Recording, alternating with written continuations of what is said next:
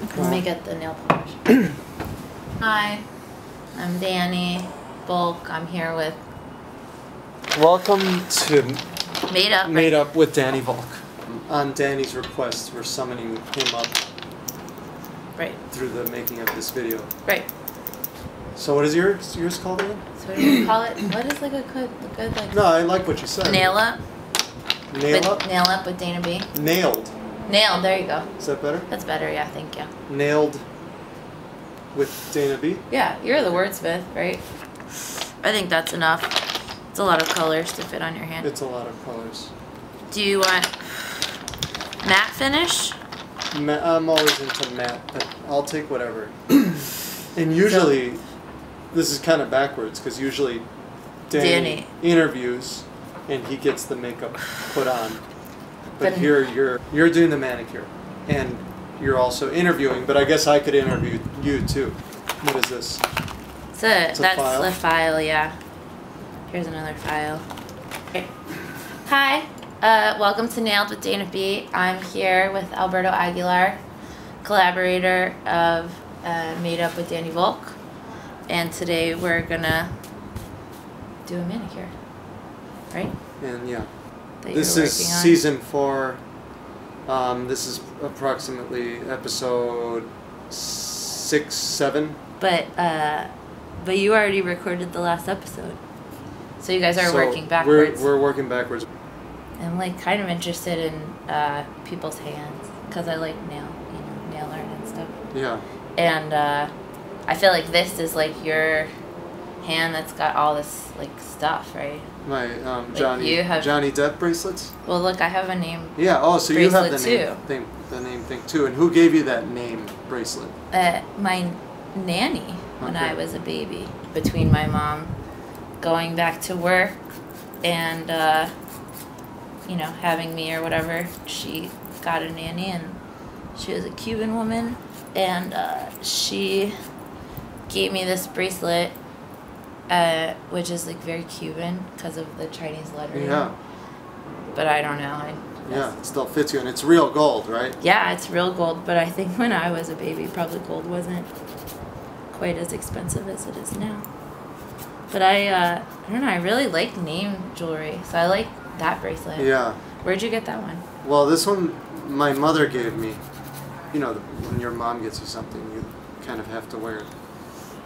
That's true. So that's why I wear Or it. at least keep it around. I wear it, and I've had it for many years. It's like indestructible. Really? How or many years? I, maybe five, maybe more. I bit my nails very briefly. And my mom is a dental hygienist. And she was very concerned about me and my sister putting things in our mouths. So she scared me out of biting my nails and I just stopped. But it's hard when you're an artist to keep nice nails, I would assume. I, I cut them all the time, but I wait till they get long. It's kind of like my, my facial hair. Like I just I shave it all off, but then I let it grow long, and then I eventually shave it all off again.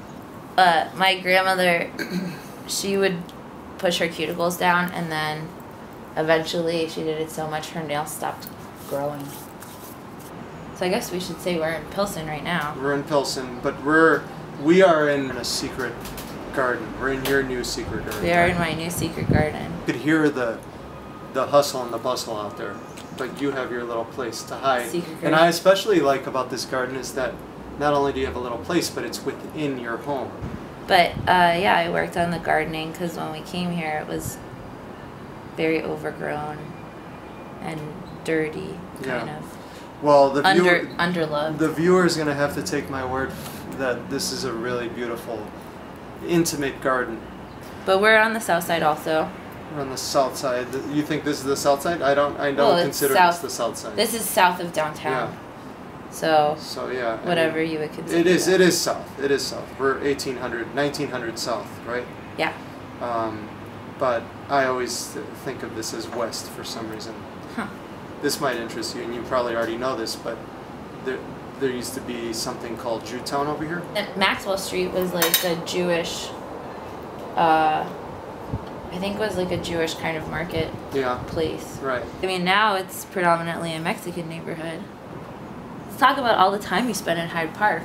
I associate Danny with Hyde Park. Yes, Danny went to University of Chicago, and Danny currently works at the Logan Center. So yes, Danny is, but he doesn't live in Hyde Park. Where does he live? He lives in Logan Square. I have been in Hyde Park, but I've been more in Washington Park. Is that that's the place where that's That's the, where the arts that's where incubator the arts is. Yeah, and it's um, it's west of Hyde Park, Mm-hmm. and it's divided from Hyde Park uh, through the park itself, through Washington Park. And Washington is Washington Park one of the original parks from 1893. Do you know? I think Yeah, it is because that's it- the it park where has to be. the library is going to be. Yeah, it possibly either there or Jackson Park. Yeah, I think both of those parks are Yeah. from the Columbian Exposition. Right. So I mean, the Columbian Exposition is kind of what brought me here.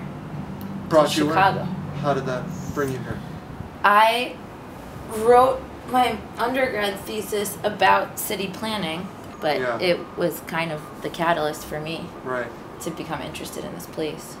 What's the uh, most interesting thing? I'm only letting you say one thing that you found about the Columbian Exposition upon coming to Chicago. Uh, I think how little it's remembered. Like putting the presidential library in Chicago is cool, but I'm a little dubious about putting it in the park. Okay, you don't like it for that reason. Well, you don't think that history should be messed with, seems like there's a lot of space on the south side, right? And so it seems to me that uh, there are other good places. Mm-hmm. Park space is always very contentious space because it's great to develop on, but Mm-hmm. I don't know that people want to lose park space. Yeah. Well, where did you and but you and Danny didn't really work in Hyde Park so much, did you? As much as you worked like around. The first day that Danny and I met, we met at Soho House. Did you record your first meeting? No, and it was actually uh, an interview. It was an interview. Yeah, Who interviewed? I interviewed him to be my collaborator. Oh right. So what did he say in the interview that made you wanna? I think I already wanted to work with him because I knew what he did. I like that's what I really like about Danny's work. that he just put this thing out into the world and made himself very public. Yeah. And I, I you know, I felt like I knew him long before I met him because I watched the show. Um, we're not, we don't joke around a lot together, which is weird. We have a very serious relationship. Like so it's, it's your ve- collaboration is yeah, all business. except for when we Mhm. did the variety show. Yeah. We, that, that's the most playful that you'll see us. It was a little playful, but it was you guys kind of directing each other like through the cues, Yeah, but also like very like respectful of one another yeah. in this way that made you seem like collaborators. But do you you're only collaborating on Made Up, or are you guys doing other stuff?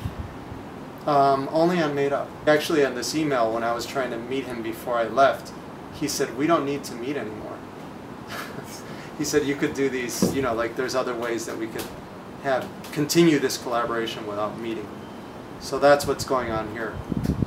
You're, you're taking his place, Well, or you're taking his place. or I'm taking his place. Maybe a couple weeks ago, you've kind of acted offended a little bit that, like, I didn't invite you as one of the the guests on the variety show. I should think of you also as an artist, right?